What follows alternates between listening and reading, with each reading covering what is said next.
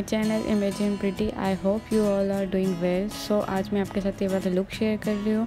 So without any further delay let's come to the point so मैंने यहाँ पे अपने फेस को अच्छे से मॉइस्चराइज़ कर लिया है। सो so, नेक्स्ट जो है हम अपने लिप्स को भी अच्छे से मॉइस्चराइज़ करेंगे। उसके बाद मैं यहाँ पे प्राइमर यूज़ कर रही हूँ तो ये वेट एंड वाइट का प्राइमर है मेट प्राइमर है ऑयल स्किन वालों के लिए काफ़ी अच्छा है। इसके बाद हम यहाँ पे फाउंडेशन यूज़ कर रही हूँ, मैं मितानी का फाउंडेशन यूज़ कर रही हूँ। इसकी कवरेज का हाई कवरेज है इसकी और वेडिंग वगैरह के लिए काफ़ी अच्छा है इसकी।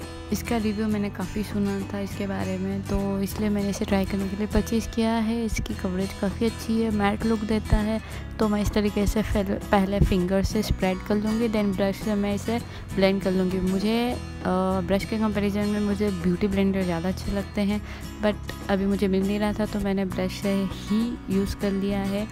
सो इस तरीके से मैं अपने पूरे फेस पे और नेक पे अप्लाई कर लूँगी।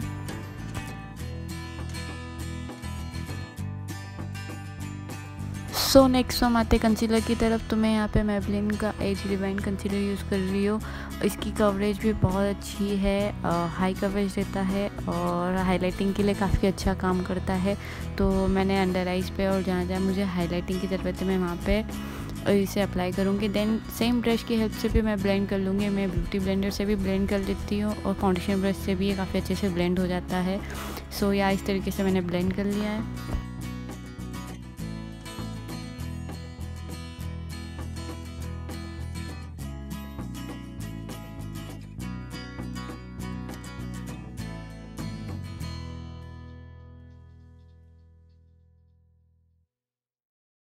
सो नेक्स्ट मैं यहाँ पे कॉम्पैक्ट पाउडर यूज़ कर रही हूँ। अपने कंसीलर को अच्छे से सेट करने के लिए। ये शुगर का कॉम्पैक्ट पाउडर है और एकदम मैट लुक देता है, जिन्हें मैट फिनिश वाला कॉम्पैक्ट पाउडर चाहिए तो ये डेफिनेटली ट्राई कर सकते हैं ये वाला।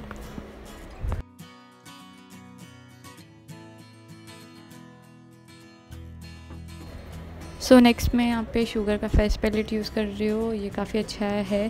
सो so, इसमें से मैं कॉन्टोरिंग यूज़ कर रही हूँ। अपने फोरहेड पे लाइट कॉन्टोरिंग करूँगी और अपने जो लाइन पे भी हल्का सा कॉन्टोरिंग करूँगी। इससे क्या होता है आपके फेस को अच्छे से डेफिनेशन मिलती है। सो so, इस तरीके से मैं कॉन्टोरिंग कर लिया है।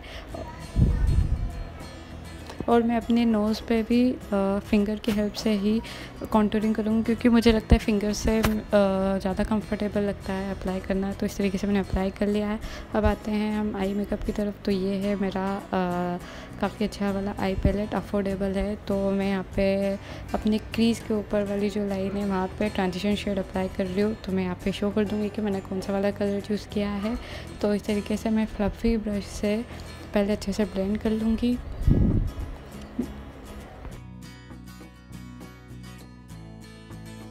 नेक्स्ट मैं ये ब्लू वाला शेड ले रही हूँ और पेंसिल ब्रश की हेल्प से मैं अपनी जो क्रीज लाइन है ना, उस पर हल्का सा ब्लू लाइन ड्रॉ करूँगी। आप देख सकते हैं इस तरीके से लाइट हैंड से सो दोनों अपनी आई लीड पे क्रीज पे इस तरीके से मैं ब्लेंड कर लूँगी। मैं इस तरीके से आउटर पे भी थोड़ा सा ब्लेंड करूँगी। आप देख सकते हो इस तरीके से मैंने अपने क्रीज लाइन पे ब्लू शेड अप्लाई कर लिया है। नेक्स्ट मैंने पर्पल शेड लिया है, उसे मैं आउटर पे अच्छे से ब्लेंड कर लूँगी।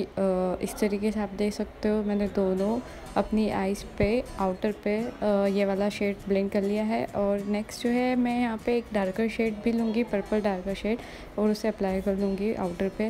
नेक्स्ट जो है, हम ये ब्लू शीमर शेड ले रहे हैं, जो अपनी लीड पे ही मैं अप्लाई करूँगी। मैं फिंगर से अप्लाई करूँगी, क्योंकि फिंगर से अप्लाई करना ज़्यादा अच्छा होता है। तो इस तरीके से मैंने इसे अपनी लीड पर अप्लाई किया है। आप देख सकते हो।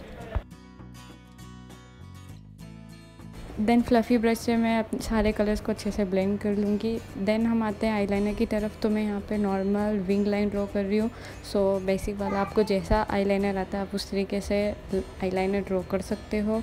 सो नेक्स्ट जो हमारी स्टेप है, वो है मस्करा की तरफ़। तो मैं यहाँ पे मेबलिन का मस्करा यूज़ कर रही हूँ, काफ़ी अच्छा है। और मस्करा जो है आपकी आई को बहुत अच्छा सा बना देता है। तो इस तरीके से मैंने मस्करा अप्लाई कर लिया है।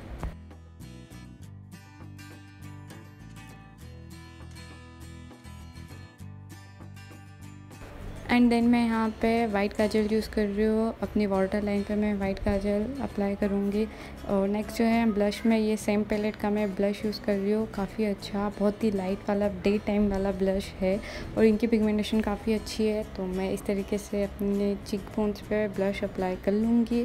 नेक्स्ट मैं सेम पैलेट से मैं हाईलाइटर यूज़ कर रही हूँ। तो आप देख सकते हो, मैं फ्लफ़ी ब्रश से फ़ैन ब्रश से, जिसे भी आपको ब्लेंड कर सकते हो, उससे आप ब्लेंड कर सकते हो। सो इस तरीके से अपने नोज़ पे भी अप्लाई करूँगी और आप देख सकते हो काफ़ी अच्छा हाइलाइटर है। एंड देन मैं अपने पूरे मेकअप को सेटिंग स्प्रे से सेट कर लूँगी। ये वेट एंड वेल का सेटिंग स्प्रे है। सो so, या yeah, इसके बाद हम आईब्रोज़ को फिल कर लेंगे। मैं पहले करना भूल गई थी तो इस तरीके से मैं अपनी स्पूली की हेल्प से आईब्रोज़ को पहले सेट करूँगी। एंड देन ये नायका का आईब्रो इनहेंसर है काफ़ी अच्छा है। तो मैं जस्ट अपनी आईब्रोज़ को जो शेप में बस वही शेप में थोड़ा सा डार्क कर लूँगी दैट सेट सो इस तरीके से मैंने अपनी आईब्रोज़ को फिल कर लिया है। नेक्स्ट स्टेप जो आती है हमारी वो है लिपस्टिक की तरफ़ तो मैं यहाँ पे नायका की अल्ट्रामेट मिनी लिपस्टिक ट्राई कर रही हूँ। इसका मैंने पर्सनल रिव्यू किया है तो आप मेरे चैनल पे जाके देख सकते हो। इसके सारे शेड मैंने आपके साथ शेयर किए हैं। सो इसका शेड भी मैं डिस्क्रिप्शन बॉक्स में दे दूँगी कि मैंने कौन सा यूज़ किया है। काफ़ी अच्छा है मैट लुक देता है। सो ये हमारा लुक सो हेयर स्टाइल में मैंने जस्ट नॉर्मल वाला बन बना के रखा है। नॉर्मल बन जैसा आपको आता है वैसा बना लीजिए। और बॉबी हेयर्स को मैं पिन क्लिप की हेल्प से मैं इन्हें सेट कर लूँगी। सो ये है हमारा फाइनल लुक आप कमेंट करके ज़रूर बताना कि आपको ये वाला लुक कैसा लगा और अगर आप मेरे चैनल पर न्यू है तो मेक श्योर सब्सक्राइब कीजिएगा लाइक कीजिएगा शेयर कीजिएगा. तो ये हमारा साड़ी के साथ पूरा लुक बाय